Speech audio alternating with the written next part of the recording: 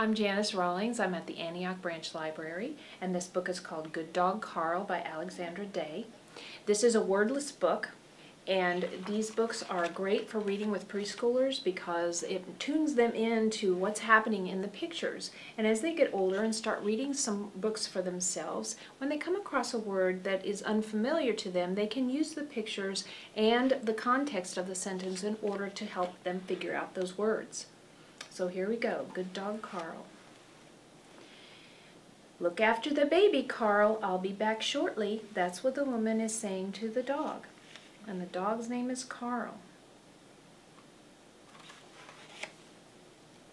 Look, the baby woke up. Why do you think Carl is watching out the window? Do you think a baby would really crawl out of their crib and onto a dog's back to take a ride? Where did they go? What are they doing? Do they look scared or do they look happy or sad? What do you think is going to happen next? Where will Carl and the baby go next? Do you think they'll stay safe? You'll have to get the book at your Johnson County Library to find out the answers.